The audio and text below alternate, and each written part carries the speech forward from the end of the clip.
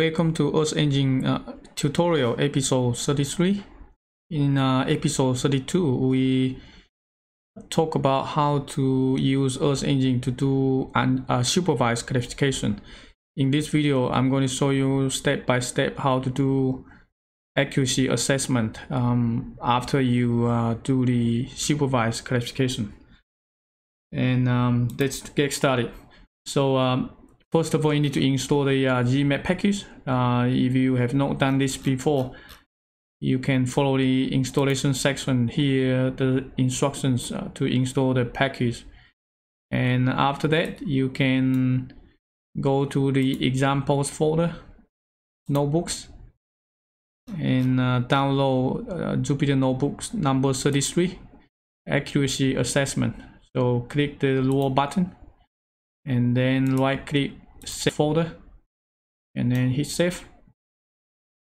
Okay so and then you can open um, your uh, file explorer here and also open your terminal. So after you install the package then you can um, use uh, get into the downloads folder.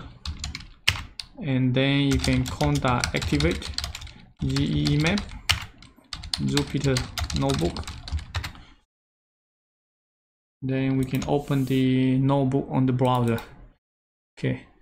So then you should be able to open the Jupyter notebook.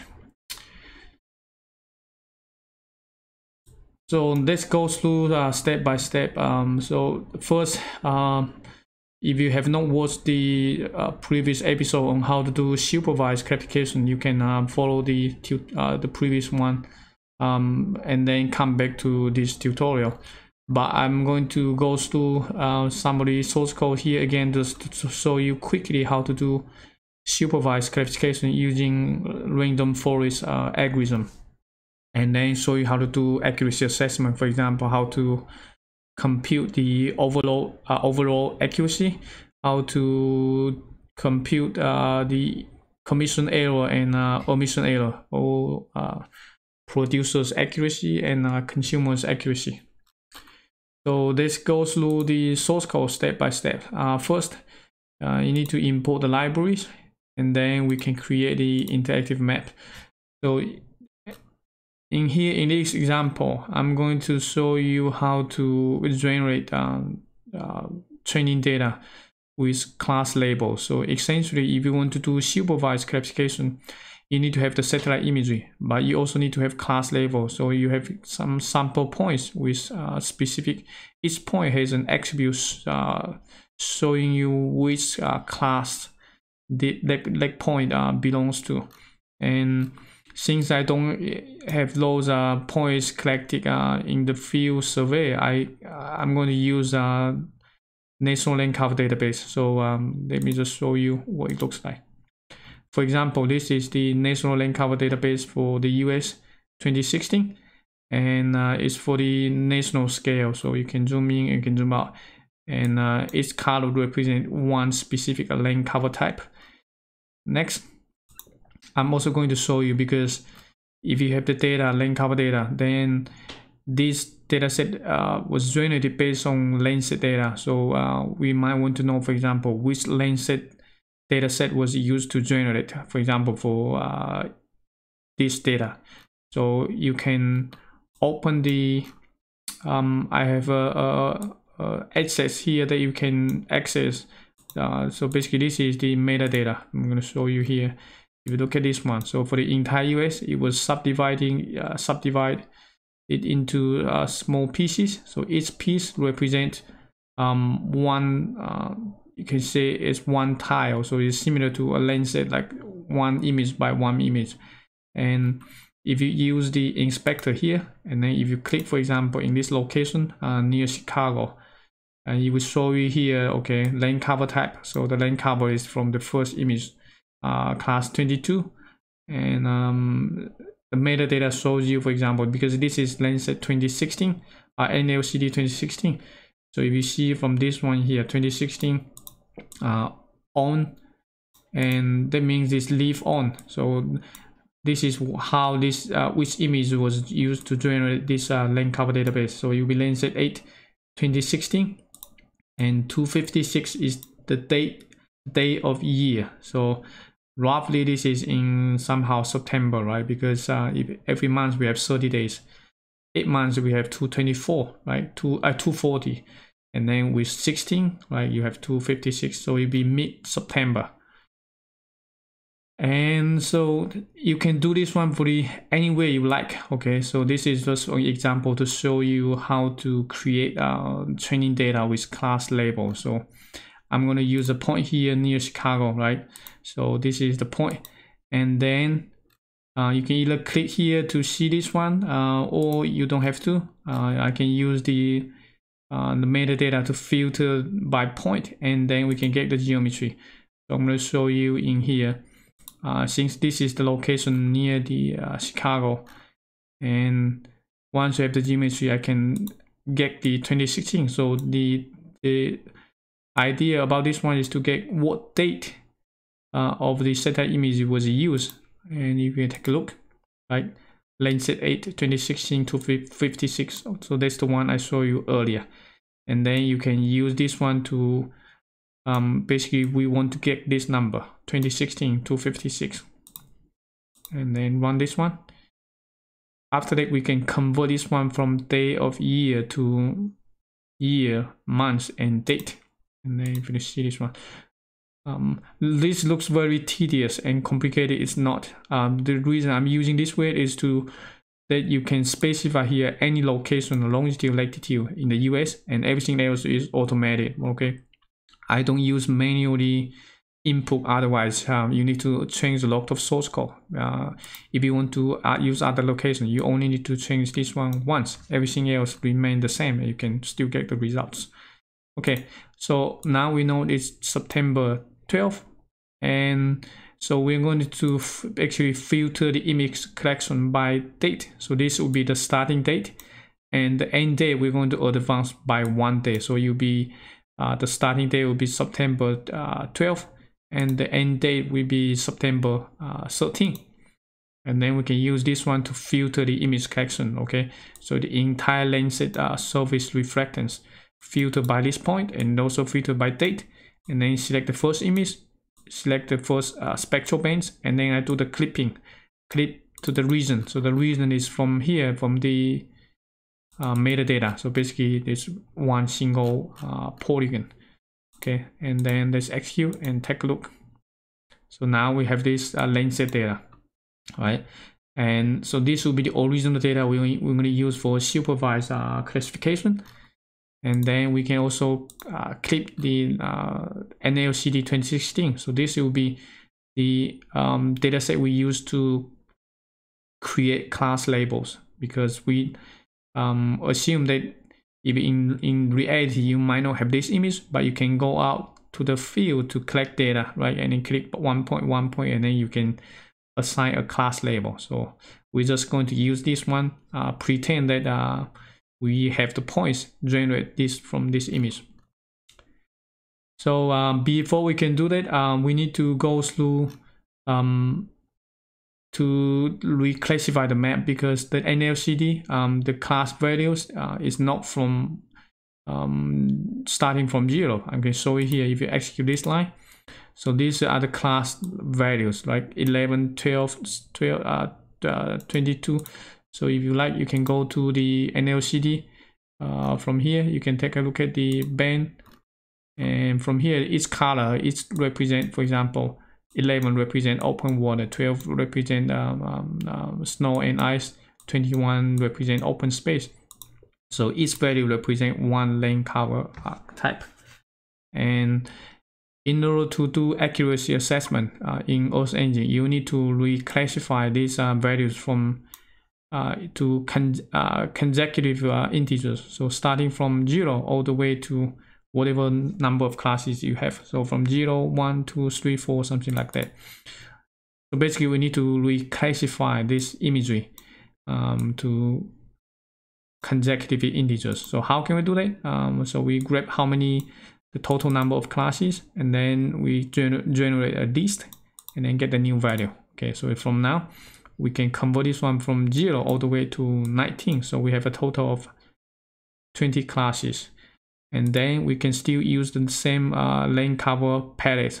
So keep it in mind this comes from here uh, from the Landsat data uh, NLCD right? You have a land cover class name land cover class uh, palette and land cover class values. Okay so let's do this. And so this is the color will be the same. Now we're, we're trying to reclassify. You can use the remap function okay? So this will be the, the list of original uh, land cover values and this will be the new one. So from this one to this one. And then once you do the remap you will have a new uh, band uh, name remap. So we can change the, uh, the name to land cover just to be consistent. And after that you can do the map. You can add the map again. So now these two maps this is the map that we um, we, we use. You can use the inspector here for example. Click uh, and then you can you might see it. So the lane original like seven spectral bands and now we have the land cover class three. So three basically is uh, the class uh, if you look at this one here three corresponds to 22 so it will be um, developed area Okay, so now we have the um, Landsat data that we can use to do classification. We also have the NLCD that we can use to uh, generate class labels. So now let's make the training data. So how do we make the training data? Is the we we're going to generate, for example, 5,000 points randomly. And um, let's execute this one. You can pass in the region. So the region that means we're only going to generate the random samples within this polygon. So all we need to do one, and these are the points. So you can see from here. All right. So using the points, um, and each point right now we basically grab the value from the NLCD, right? And you can take a look at this one. For example, how many points? 5,000, right? The first point, we just look at like what information is contained within the point. So if you see from this one, it has location, longitude, and latitude. It also has an attribute called land cover and then number three, right? So if you see from here, basically these points are generated based on the NLCD, right? Based on this image. And then we generate 5,000 random points and we grab the value of each point beneath uh, the lane LCD. Once you have these points, then we can uh, split the points because if you want to uh, accuracy assessment, we always need to have training and testing or training and uh, validation. So we right now we have 5,000 points, right? We can um, um, use the points to grab the value from those uh, seven spectral Landsat uh, bands. And then we can add another column called random column uh, to create random values. And then we can split uh, the 5,000 points into 70% and 30%. So 70% we're going to use for training and 30% we're going to use for testing or validation. So if you look at this one, now earlier we only have the value like the, the class label. So now if we use these uh, sample regions, we are going to generate data also with the seven spectral bands that we can use as the predictor. So this will be the outcome variables and we also need the uh, predictor variables. So once we execute this one, and let's take a look at, for example, the first point. If you see from now uh, in here, so we have the properties now from B1. So this will be the DN values, uh, digital number, uh, B1 all the way to B7, right? And we also have the class label. So this is exactly what we need, right? Because when we want to do image classification uh, using machine learning, you need to have this to as the predictor, right? And then this is the outcome variable, right? So if the spectral bands values follow the pattern like this, it's most likely to be land cover number three. And also we, we create a random column, right, with the value point uh, 18 so because we use this one so the, we generate the value uh, we, we with this line of code is going to generate a new column with values ranging from 0 all the way to 1 right uh, and then it's uniform distribution so if you have 5000 points um, uh, use a split threshold of 0.7 so um, most of 70% of the points are going to be uh, uh, uh low, lower than uh, 0.7 and 30% of the points are going to be larger than uh, 0.7. So in this way, we split the data into training and testing. And uh, so if you like, we can click this one, one what's in the validation. So this is with what we expect, right? So if you, you within the validation dataset, uh, the point, the random value is going to be larger than 0.7, okay?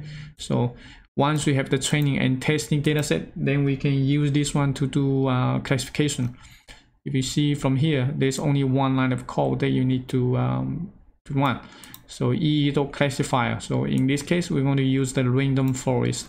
So the random forest uh, this only one variable we need to pass in. So this is the the number of trees. You can uh, press shift and tab on your keyboard to if you want to see uh, what information you want to uh, um, specify okay? So the first one is the training and the label okay? So basically this is the training data set, right?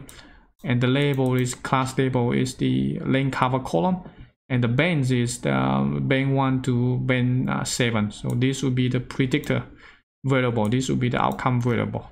And once you train the classifier, we can pass the classifier into here, the classify function to do classification. So, and then add the map uh, using a random color. So let's take a quick look and this is the uh, quick result right so from the original Landsat data now we have this one. Okay. But as you can see uh, the color is like a random color.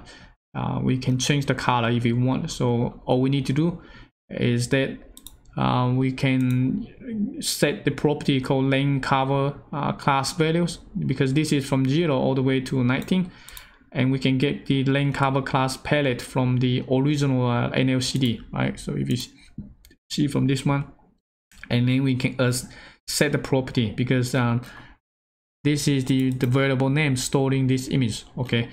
And we can set the two properties uh, called class classification because uh, the band of this image is called classification, right? And then all we need to do is just to pass in underscore class values and then because this is from 0 to 19 and then change the color to uh, using this uh, palette and then we can add this one to the map so now you see the color is the same as the original NLCD right? So if you see from here from the training to this one. So this will be the outcome of the result uh, the final result.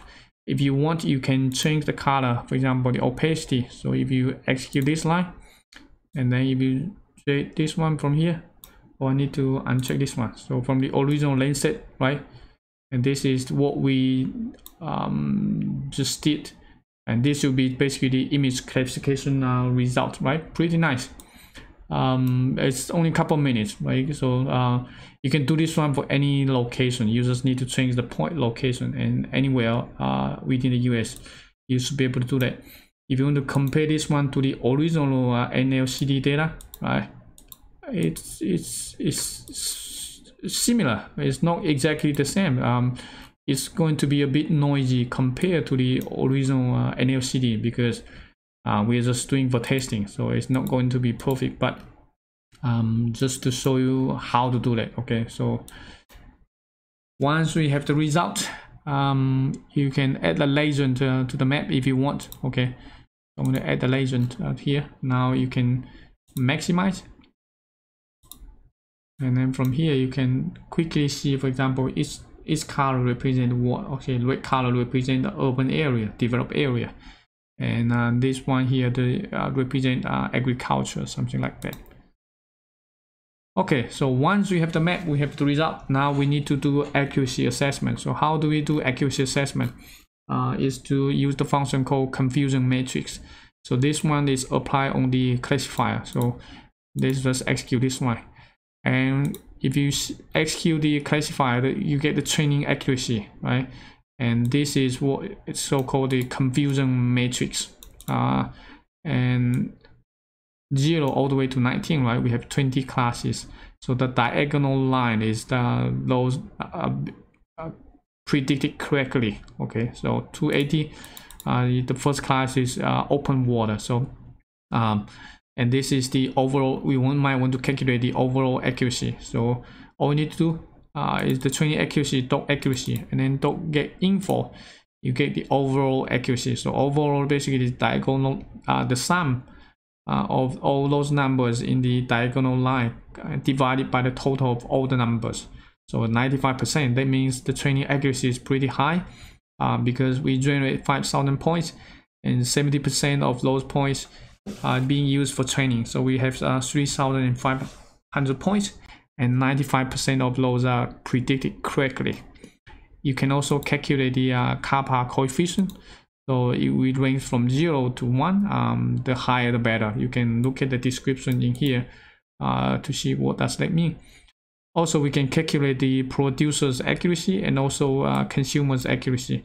So the producer's accuracy basically is um, a complement to the omission error, right? So we see from here, omission error um, the producer's accuracy here for the first class. So this one is water 99% up to 9 how this one was calculated. So basically it is using this uh, list row right? And 280 that means one total number of two pixels were incorrectly classified as other classes and so if you 2 divided by 280 total of uh, 282 um, you will get the uh, uh, omission error. So omission error, 1 minus the omission error, you will get the producer's accuracy. So let me see if I can open a calculator.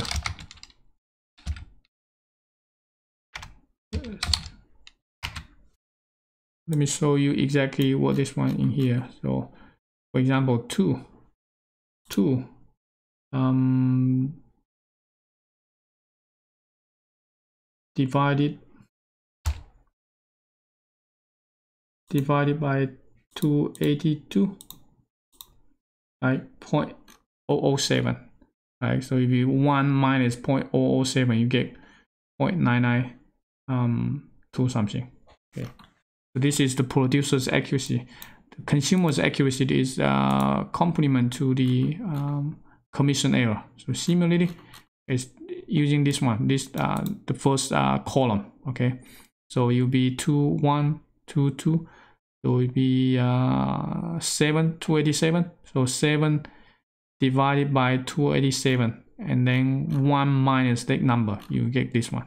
So this is so-called the consumer uh, accuracy if you see through here like some of those are pretty high and some numbers are pretty low uh, depends on uh, your area and depends on the dataset you use.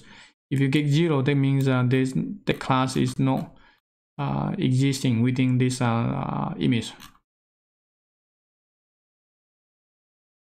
Okay, so this is for the training dataset. Uh, you see here the accuracy is pretty high, all 90 above 90%. Next, um, let's do the testing validation. So again, you need to classify the validation dataset because uh, we only use the training dataset to do classification. And we also need to classify the uh, validation dataset. So we can take a look at this one. Once you do the classification, now you can also see we have two columns, right? Classification uh, is the prediction and the land cover, this is the reference data, okay? And now we can use the so-called error matrix. Error matrix uh, to do to calculate the uh, accuracy. So we take the get info. Uh, we are going to get an um, confusion matrix similar to what we did earlier, right? So now this is the one that what we get. Uh, again, similarly, uh, we can calculate the overall accuracy, uh, the diagonal line, the summation of all numbers divided by the sum of, of all the numbers and they see what's the accuracy. Uh, it's going to be lower than the training dataset because um, this is normal. So 0.71, that means uh, the accuracy is 71%, uh, um, much lower than the 95%. Uh, this is within our expectation. And also we can calculate the kappa coefficient. Uh, the higher the better, uh, close to one uh, is better. So 50%, um, it's, it's an okay number.